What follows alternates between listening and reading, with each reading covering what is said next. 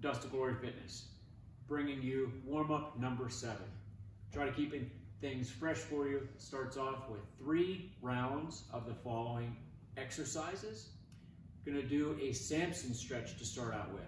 Looks like this, knees on the ground, front leg, in this case my left leg is gonna go forward, hands on my hips. I'm really leaning into it.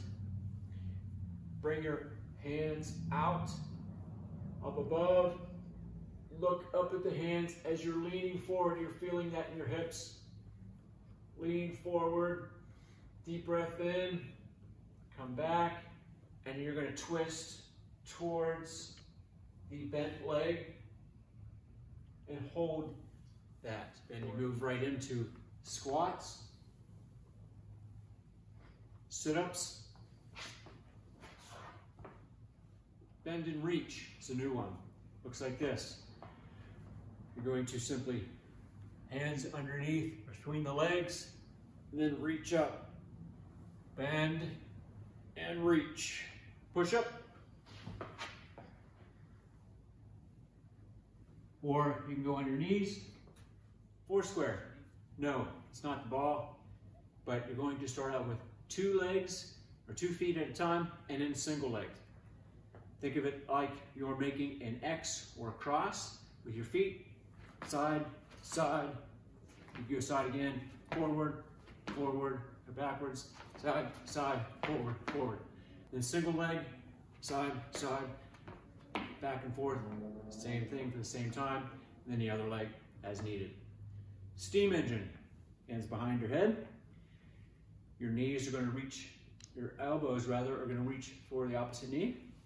And you're simply going to steadily move like a steam engine. Then going to do some more static stretching, mobility.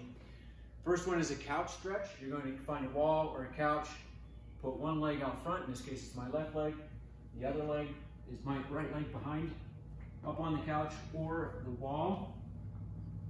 Get as far as I can with where I feel comfortable. Then my knee is on the ground. I'm going to try to stand up. As I stand up or stand up straight, you feel the stretch in your quad. If it doesn't stretch, hurts too much, you can go forward. If it doesn't, uh, you don't feel the stretch, go a little further back against the couch or the wall. Pike stretch. So with this, I'm sitting down on the ground, hands up over my head. I'm going to reach down towards my feet, try to reach my feet and bend over.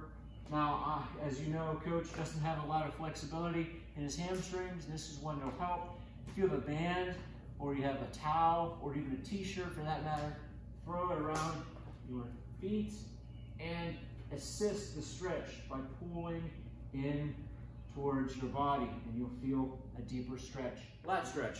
So with this, you're gonna need a doorway or a post. In this case, we got our Dust to Glory color post. A lat stretch for doing a lot of pull-ups or even push-ups. You're gonna feel this in here as this will also improve your posture. So I'm gonna start out facing you and I'm gonna put my left arm or elbow up into the doorway or up on a post, somewhere where I have movement. So I'm not up against the wall, facing the wall. My left elbow's in or on the post, leaning in.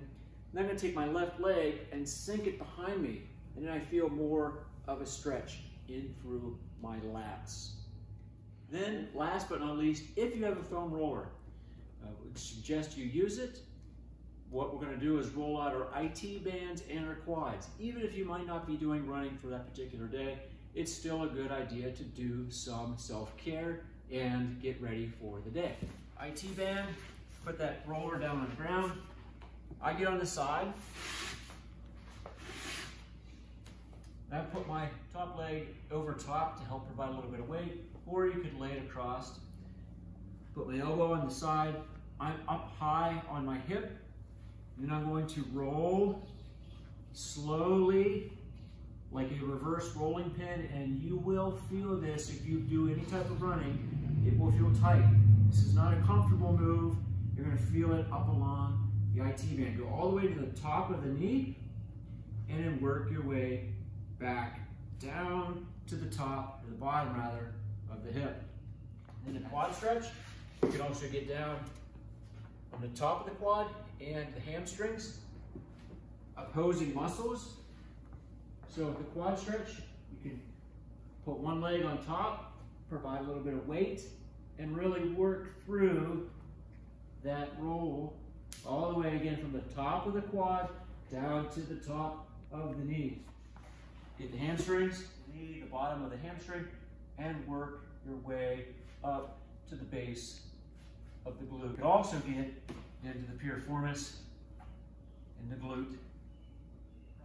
Where it's called a cross friction massage. And that concludes warm-up number seven.